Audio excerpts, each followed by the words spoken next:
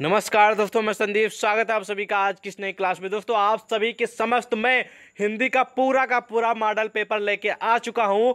तो ये video BA के first year second year third year तीनों ईयर के छात्रों के लिए इंपॉर्टेंट है, जहाँ पर लिखित परीक्षाएँ होने वाली हैं उन यूनिवर्सिटियों के स्टूडेंट के लिए मोस्ट इंपॉर्टेंट है। तो आप सभी के बहुत सारे कमेंट आ रहे थे सर, कि पूरा का पूरा मॉडल पेपर लाइए। तो आप सभी के समस्त मैं पूरा का पूरा मॉडल पेपर लेकर आ चुका हूँ। और कौन कौन से मोस्ट इंपॉर्टेंट क्वेश्चन है और कौन से आपके एग्ज़ाम में इस बार आने वाले हैं, वो सारे क्वेश्चन मैं आप लोगों को इस मॉडल पेपर में बताने वाला हूँ। तो कई पिछले सालों के मॉडल पेपर क्वेश्चन पेपर मिला के नया मॉडल पेपर तैयार किया जाता है। न्यू क्वेश्चन पेपर उसी पे आप लोगों की परीक्षाएँ होते हैं। जैसे कि पिछले तीन चार सालों के क्वेश्चन पेपर उठा के इसमें से कुछ क्वेश्चन ले लेंगे, वही पेपर बनाया जाता है तो आप सभी के एग्ज़ाम होते हैं, ठीक है? तो चलिए हम आपको बताएँगे इसमें से कौन कौन से प्रश्न आप लोगों को पढ़ने पढ़, पढ़ के जाना है आपके एग्ज़ाम में और कौन से आने के ज़्यादा चांसेज हैं। तो वीडियो को शुरू से लेकर लास्ट तक बने रहिएगा। मैं फिर से बोल रहा हूँ मैं आप लोगों को इस वीडियो से कम से कम नहीं तो दस पंद्रह नंबर क्लियर कराने वाला हूँ उस वीडियो से। दस पंद्रह नंबर के क्वेश्चन आपके एग्ज़ाम में नाइन्टी परसेंट आएँगे ये मैं कह सकता हूँ ठीक है? तो आज इस वीडियो में जो क्वेश्चन होने वाले हैं, वो हिंदी के सेकेंड पेपर के होने वाले, दो पेपर होते हैं। फ़र्स्ट सेकेंड हालाँकि कुछ यूनिवर्सिटियों में एक ही पेपर होने वाला है। तो उसमें दोनों में, एक ही पेपर में फ़र्स्ट सेकेंड दोनों यानी कि मिक्सड कर दिए गए हैं और कई कई यूनिवर्सिटियों में अलग अलग परीक्षाएँ होंगी फ़र्स्ट के अलग सेकेंड के अलग। तो फ़र्स्ट की मैंने वीडियो बना दी थी पहले सेकेंड की ये वीडियो रही, ठीक है? तो चलिए दोस्तों, बढ़ते हैं क्वेश्चन की ओर। दोस्तों, मैं आपको ये भी बता दूँ कि सभी यूनिवर्सिटी की बात तो मैं नहीं कर सकता, लेकिन 70 परसेंट यूनिवर्सिटियों में खंड आ खंड बा खंड सा ऐसे पार्ट में डिवाइड होकर क्वेश्चन पूछे जाते हैं। तो चलिए मैं आप लोगों को बता दे रहा हूँ, खंड आ में कैसे क्वेश्चन आएँगे, खंड बा में और खंड सा में। तो खंड आप लोगों को सबसे पहले पढ़ना है, खंड आ यानी कि पार्ट वन खंड आ में आप सभी का जो क्वेश्चन होंगे, वो बीस नंबर के होने वाले हैं, बीस नंबर के क्वेश्चन होंगे। इसमें से सभी प्रश्न आप लोगों को करना अनिवार्य है, जिसका आप लोगों को, ठीक है जो आंसर है वो पचास शब्दों में देना होगा, ठीक है? याद रखिएगा पचास शब्दों में। ठीक है, इसमें आते लघुत्तरीय क्वेश्चन पूछे जाएँगे और खंडबा में ढाई सौ यानी कि 250 शब्दों में आप लोगों को उत्तर देने होंगे, जिसके लिए आप लोगों को लघुत्तरीय क्वेश्चन मिलेंगे, ठीक है? और खंडसा में इसमें विस्तृत यानी कि दीर्घ क्वेश्चन पूछे जाएँगे, जिसका आप लोगों का आंसर उत्तर 300 शब्दों में देना होगा। तो पहले हम बात करेंगे खंड आ में। पहले हम आपको बताएँगे खंड आ में मोस्ट इंपॉर्टेंट पहले पढ़ेंगे, उसके बाद आप लोगों को बताएँगे कौन से मोस्ट इंपॉर्टेंट क्वेश्चन है और कौन से आप लोगों के एग्ज़ाम में पढ़ के जाना है। पहले हम आप लोग क्वेश्चन बता देंगे, उसके बाद मोस्ट इंपॉर्टेंट कौन, उसको हम सिलेक्ट करा देंगे। आप लोग नोट डाउन कर लीजिएगा, ठीक है? लिख लीजिएगा अपने स्क्रीन शॉट भी ले सकते हैं, ठीक है? पहला क्वेश्चन है खंड आ का, जो कि तिलक उत्तरीय का है, लिखा कि निम्नलिखित प्रश्नों के उत्तर देना है, जिसमें से पहला है कि अलख, ठीक है, आज़ादी की नाटक का वरण्य विषय क्या है? ठीक है? दूसरा क्वेश्चन है कि सुशील कुमार सिंह ने अलख आज़ादी की नाटक किसके आग्रह पर लिखा है? याद रखिएगा। अगला क्वेश्चन है कि श्रृंखला की कड़ियाँ पुस्तक किसकी है? अगला प्रश्न है कि हजारी प्रसाद द्विवेदी के उपन्यासों के नाम लिखिए। अगला प्रश्न है कि साहित्य का मूल धर्म क्या है? अगला क्वेश्चन है कि रस सिद्धांत पुस्तक के लेखक कौन है? ठीक है? अगला क्वेश्चन है कि चार प्रकार के नायकों के नाम लिखिए। ठीक है? इसी में अगला प्रश्न है कि द्विवेदी युग के चार नाटकों, नाटककारों का उल्लेख कीजिए। ओके? अगला क्वेश्चन है कि बैर क्रोध का आचार या मुरब्बा है, ये कथन किसका है? किन्हीं चार ललित निबंधकारों के नाम लिखिए। ठीक है तो ये रहे खंड आ के, यानी कि अतलगोत्रे के मोस्ट इंपॉर्टेंट क्वेश्चन अब इसमें से टॉप लेवल के कौन है, जो कि आपके एग्ज़ाम में आने के चांसेस हैं? ज़्यादा, ठीक है? तो पहला जो क्वेश्चन आप लोगों को मिल जाएगा, ये इस क्वेश्चन के आने के ज़्यादा चांस नहीं है, याद रखिएगा, ठीक है? ये क्वेश्चन आप लोग पढ़ लीजिएगा अलख, ठीक है? आज़ादी की जो नाटक है, ठीक है? ये पढ़ लीजिएगा सुशील कुमार सिंह ने अलग आज़ादी की नाटक किसके आग्रह पर लिखा है? ये पढ़ लीजिएगा, ओके?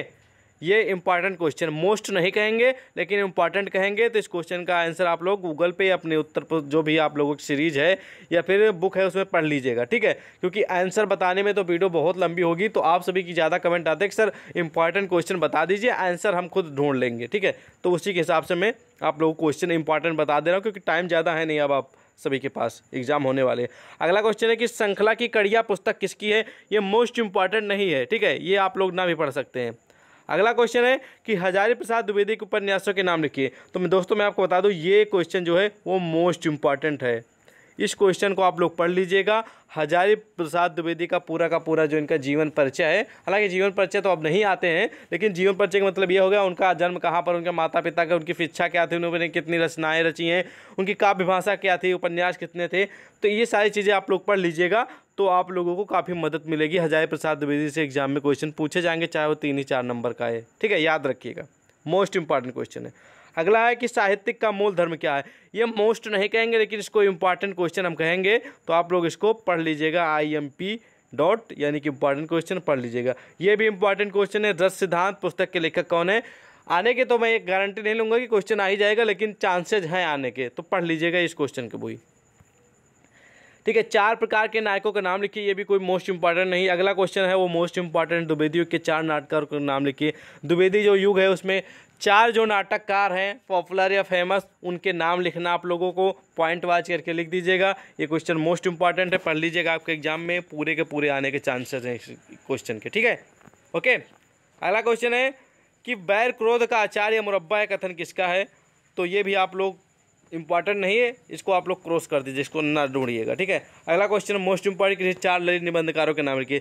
तो कौन से चार ललित निबंधकार हैं, उनके आप लोगों को नाम लिखना है, ठीक है? ये मोस्ट इंपॉर्टेंट क्वेश्चन है, इसको पढ़ लीजिएगा, ठीक है? ललित निबंधकार, ठीक है? तो यहाँ पर समाप्त होते हैं, अति लघुत्तरीय क्वेश्चन ठीक है? जो कि मोस्ट इंपॉर्टेंट थे, मैंने आपको बता दी वो आप लोग नोट डाउन कर लीजिएगा या स्क्रीन शॉट ले लीजिएगा। अब हम खंड बा में आप लोगों को बताएँगे, इसमें मोस्ट इंपॉर्टेंट कौन से क्वेश्चन है। आप सभी को मालूम है कि हिंदी में खंड चाहे वो हिंदी फ़र्स्ट पेपर हो, चाहे सेकेंड पेपर हो, दोनों में संदर्भ सहित व्याख्या करने के लिए आता है, ठीक है? लघुत्तरीय बेस में क्वेश्चन ठीक है? लघुत्तरीय होते हैं उसमें। कुछ आप लोगों को क्वेश्चन होते हैं, उसको उत्तर देना होता है लघुत्तरीय में, और कुछ होते हैं जिनकी संदर्भ सहित व्याख्या करनी होती है। तो कुछ पंक्तियाँ या फिर आप लोगों को कुछ व्याख्या करने के लिए दे दिया जाएगा, ठीक है? तो वो आप लोगों को करना होता है, ठीक है? तो इसमें जैसे दे दिया गया है कि व्यापार करने आए थे वो राजा, पा गए। ठीक है, और इसमें लास्ट में फिर देखते ही देखते सब कुछ हड़प गए। तो इसका आप लोगों को संदर्भ सहित व्याख्या करना है। मैं आपको ये भी बता दूँ कि हर जितने भी बार पेपर होते हैं, कोई ज़रूरी नहीं कि हर बार एक ही पंक्ति या फिर एक ही सेंटेंस या फिर एक ही दोहा या फिर एक ही जो आप लोग कह सकते हैं कि सेंटेंस वो हर बार पूछा नहीं जाएगा कि उसकी संदर्भ व्याख्या कीजिए।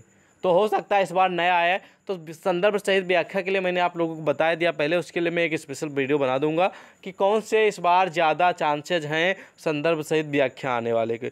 तो ये मोस्ट इंपॉर्टेंट इसमें से मैं नहीं आप लोगों को सही कराऊँगा कि आप लोग ये पढ़ के जाइएगा। अगर पढ़ना चाहे पढ़ लीजिएगा तो मैं इसे क्रॉस ही करूँगा, इसको आप लोगों को कहूँगा नहीं कि पढ़ने के लिए, क्योंकि टाइम है नहीं आप लोगों के पास। ठीक है, अगला है उसमें से ये करना चाहे, जिसके बारे में अधिक जानकारी है, जिसके लेखक या फिर कौन से पार्ट से लिया गया है। ठीक है, कहाँ से ये पंक्ति ली गई है या कहाँ से यह जो सेंटेंस दोहा लिया गया है, वो आप लोगों को लिखना होता है। तो इसमें अथवा करके तो चाहे आप इसका आंसर लिखेंगे, चाहे उसका आप लोग संदर्भ से व्याख्या करेंगे। ठीक है? अगला है कि सप्रसंग व्याख्या करना है। मैं लिखा है कि मैं केवल अपने सुख में आस्था रखता हूँ। ठीक है? मैं केवल जीने की उपयोगिता में आस्था रखता हूँ। और लास्ट इसका है कि दूसरी की भावना में उसकी स्वीकृति है। तो इसमें भी दो दिए गए हैं। तो उसमें से आप लोग चाहे ऊपर वाला करिएगा, चाहे ये मन की सारी भ्रांति है, इसको आप लोग, ठीक है, करेंगे संदर्भ सहित व्याख्या। ठीक है, अगला इसमें मिल जाएगा संप्रसंग व्याख्या आप लोगों को इसकी भी करनी है, ठीक है, इसी में अगला भी और अथवा करके है, ठीक है तो तीन दिए गए हैं, तीन में अथवा अथवा करके आप लोगों को मिल जाएँगे, जिसमें से छः हैं छः में से तीन आप लोगों को करने होंगे, ठीक है, संदर्भ सहित व्याख्या। ठीक है, याद रखिएगा। तो अब इसमें संदर्भ से बहित व्याख्या के लिए मैंने आपको बताया स्पेशल वीडियो बनाएँगे, उसमें बता देंगे कौन कौन से संदर्भ सहित व्याख्या आने वाली हैं फिर ज़्यादा चांसेस जिनके हैं। तो अब कुछ क्वेश्चन मैंने आपको बताया था कि जिसके आप लोगों को आंसर देना होगा। तो इसमें मैं आपको पढ़ के सुना देता हूँ। करोड़ा शुक्ल जी का मनोवैज्ञानिक निबंध है। कथन की व्याख्या कीजिए। उसी में अथवा क्वेश्चन मिल जाएगा कि अस्त की पुकार हिमालय निबंध में आए मिश्र जी के विचारों को उद्घटित कीजिए। अगला इसी में आप लोगों को मिल जाएगा क्वेश्चन जो है कि प्रसाद के नाटकों की विशेषता को रेखांकित कीजिए। ओके और अगला क्वेश्चन है कि ललित निबंधकारों की विशेषताओं का उल्लेख कीजिए। ओके तो ये रहे जो कि आप लोगों के लग उत्तरे बेस के क्वेश्चन तो संदर्भ सहित व्याख्या के लिए मैंने बता दिया, इसमें मोस्ट इंपॉर्टेंट क्वेश्चन कौन सा मैं आपको बता दे रहा हूँ। इसमें ये पढ़ लीजिएगा, ये कोई इतना मोस्ट इंपॉर्टेंट नहीं, लेकिन आप लोग इसके पढ़ सकते हैं, अथवा नहीं भी पढ़ सकते हैं। अस्त की पुकार के बारे में पढ़ लीजिएगा, ये इंपॉर्टेंट क्वेश्चन है मिश्र जी के विचारों के बारे में बताया गया, ठीक है? अगला प्रश्न है, प्रसाद जी के नाटक के बारे में पढ़ लीजिएगा। जयशंकर प्रसाद जी से संबंधित आपके एग्ज़ाम में क्वेश्चन चाहे पाँच ही छः नंबर के आए, आएँगे हंड्रेड परसेंट श्योर है, जहाँ मैं कहूँ, जहाँ लिख दूँ, ठीक है? तो जयशंकर प्रसाद से जुड़े क्वेश्चन आप लोग पढ़ लीजिएगा, इनकी पूरी हिस्ट्री पढ़ लीजिएगा, इनका नाटक की विशेषताएँ कितनी कितनी रचनाएँ रची इनके बारे में पढ़ लीजिएगा। आपके एग्ज़ाम में आएगा, जैसे भी क्वेश्चन आपको मिलेगा, प्रसाद जी से संबंधित आपको जितना आता रहेगा, सारा लिख डालिएगा, ठीक है? दो तीन पेज भर दीजिएगा, ठीक है? अगला क्वेश्चन है कि ललित निबंधकार की विशेषताएँ बताइए। तो जो ललित निबंधकार उनकी मुख्य विशेषता क्या है? मेन उनके पॉइंट क्या है, वो आप लोगों को लिखना है, ठीक है? तो ये मोस्ट इंपॉर्टेंट क्वेश्चन है, इसको हम कहेंगे मोस्ट इंपॉर्टेंट ठीक है? तो ये रहे लघु उत्तरे बेस के मोस्ट इंपॉर्टेंट क्वेश्चन जो कि आपके एग्ज़ाम में आने के ज़्यादा चांस है, ठीक है? जो भी इंपॉर्टेंट है, मैं वही सिलेक्ट करा रहा हूँ। सारे क्वेश्चन मैं नहीं कहूँगा आप लोगों को पढ़ने के लिए, क्योंकि एग्ज़ाम का टाइम है, आप सभी को मालूम है। अब खंडसा में देख लेते कौन सा मोस्ट इंपॉर्टेंट क्वेश्चन है, जो कि इसमें क्वेश्चन आते हैं, विस्तृत उत्तरी, यानी कि लॉन्ग वाली, ठीक है?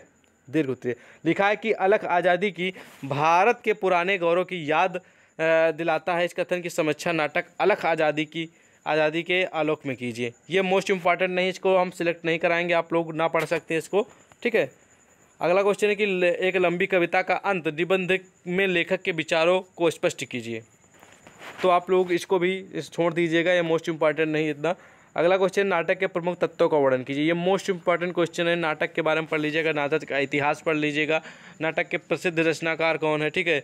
इनकी इस नाटक की जो फादर आप आप कह सकते हैं कि किसके मध्य, यानी कि किसके ज़रिए नाटक का, ठीक है, प्रकाशन हुआ? या जो सबसे पहले कौन सा नाटक प्रकाशित हुआ? किस सन में हुआ? सब चीज़ें पढ़ लीजिएगा, ठीक है? तो नाटक से संबंधित सारे क्वेश्चन पढ़ लीजिएगा आप लोग। ये मोस्ट इंपॉर्टेंट है। अगला क्वेश्चन है अज्ञे के बारे में।